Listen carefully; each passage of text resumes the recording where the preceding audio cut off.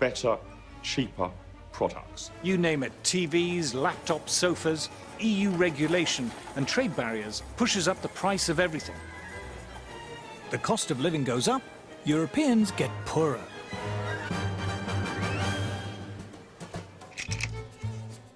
But it wasn't just manufacturers who sought protection. Farmers like it when food prices are high. So when a French farmer, say, finds that African farmers are beginning to sell their produce in Europe, he's not happy. Our EU commissioner knows the routine. Tariffs, quotas, regulations, saying you need to wear berets and drink Ricard to grow food.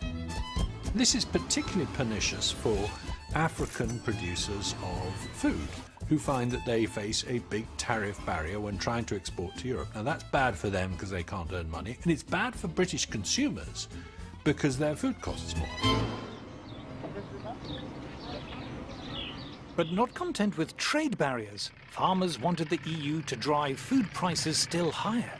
To that end, the EU bought gigantic amounts of agricultural produce and simply allowed it to rot, creating an artificial shortage which pushed up prices. These were the famous wine lakes and butter mountains. In northern France, part of the so-called butter mountain. The British say that heaps of butter like this are indefensible follies. The French say they're necessary and completely sensible. It didn't take long for people to wise up to the absurdity of it. Um, and not just its absurdity, its immorality, frankly. All this is rotten for us consumers. Because of the EU, for decades, food and drink has cost far more than it should. It adds between 10 and 20% to the cost of food.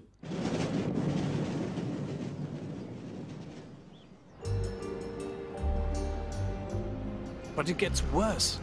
Let's look at protectionism and the steel industry. If you're a steel producer, you don't like the idea of cheap steel coming in from America or Asia. You'd much rather the EU shove up some trade barriers.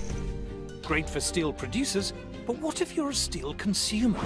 Suppose you make bridges or railway lines or cranes or robots or ships or trains or cars or space shuttles or other things made of steel. You now have to pay more for your steel than your competitors in, say, South Korea or Brazil.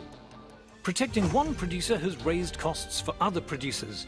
The disease spreads. Instead of one uncompetitive industry, we now have many. To see how this works in practice, I've come to the Tate & Lyle sugar refinery in London. For centuries, raw sugar has been coming into the Thames in huge quantities to be refined in factories like this.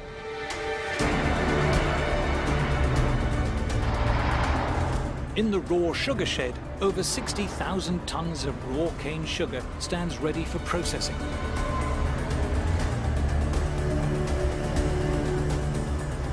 Outside is Tate & Lyle's own dock. In years gone by, this was crowded with boats from countries like Brazil and Australia and India, queuing up to offload their cargo. The European Union is the biggest drag on the competitiveness of our business. And what precisely are they doing, which is the problem? Well, you can see behind me on the jetty today that there's no boat here with raw sugar, and that's precisely our problem. Um, the boats that deliver our raw sugar here to London, the, the sugar on them, uh, the cost of that is inflated by the fact that Euro the European Union restricts who we can buy that sugar from, and on much of the sugar they also charge us import tariffs. When inefficient European beet sugar producers asked the EU for protective barriers against cane sugar producers around the world, it was a blow to refiners like Tate & Lyle. On some of the boats of sugar that we bring in, we can be paying anywhere between two to three and a half million euros in extra costs because of the European policies. As costs have risen, so has the price of sugar for consumers, while Tate & Lyle's turnover and profits have been hit. It threatens the 850 jobs here in East London, and it's meant that we've had to downsize the refinery by about 50% since 2009. How strong is the feeling against the EU at the moment here? Walk around the refinery, talk to the people here. They absolutely know that no matter how hard they work, no matter how productive they are, the regulations that the European Union set can still crush us.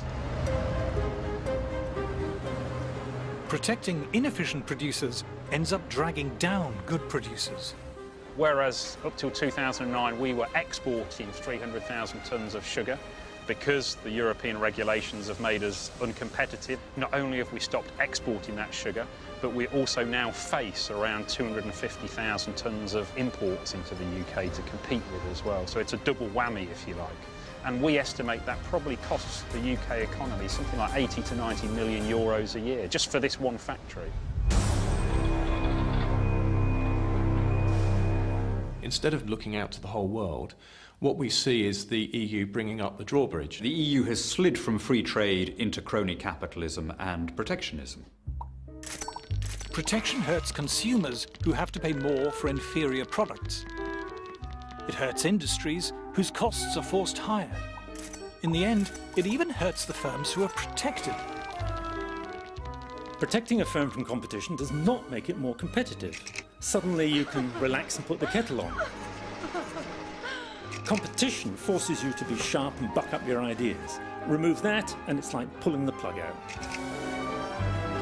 By protecting more and more industries year after year, Europe has ended up with a moribund, ailing economy. If you prop up failing, antiquated businesses that can't naturally compete, you get stagnation in the economy, not growth. Protectionism impoverishes all of Europe. It makes all of us worse off. Then the shock came when the World Trade Organization, or WTO, was set up. The walls of Fortress Europe began to crumble. From the developed world to the developing world, the tariff reductions are expected to sow the seeds of global economic growth. The World Trade Organization, where both we and the European Union are members, has made huge progress in sweeping away tariffs and other barriers. We have begun to see an opening up of the markets, thanks largely to the World Trade Organization Every major country in the world is now bound by its rules. Tariffs and other trade barriers were shredded, as you can see. The World Trade Organization has driven down most of the tariffs. In the EU, the average tariff on agricultural products has fallen to 12%, and on manufactured goods, just 4%. Europe's industries now face the challenge of international competition. I think the European Union is learning a very hard lesson. But if you're insulated from competition decade after decade, it comes as a bit of a shock when it arrives.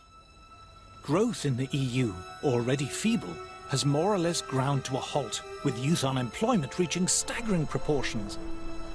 The EU badly needs its own post-war German-style economic miracle. But far from slashing regulation, the mountainous burden keeps growing.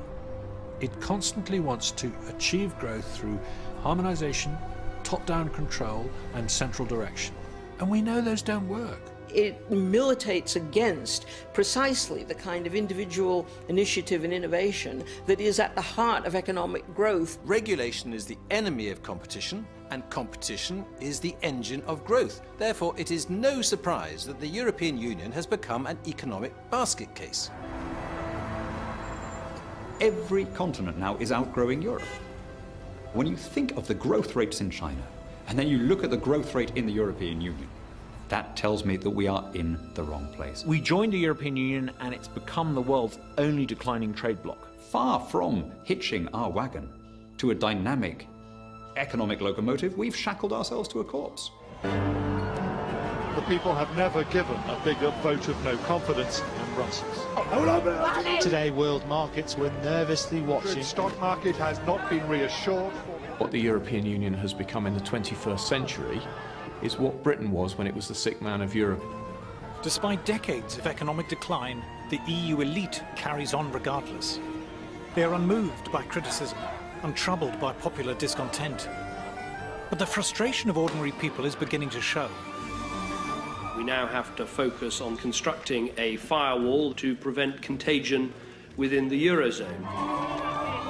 What you can see everywhere is a conflict between the visions of a rather narrow uh, kind of professional middle class which has dominated European politics and the reaction against it by the larger bulk of the European population. Eventually, if you stuff dictatorship down the throats of people who don't want it, they will rebel. Unfortunately, in many places, it's taking a very unpleasant form of right wing populist nationalism.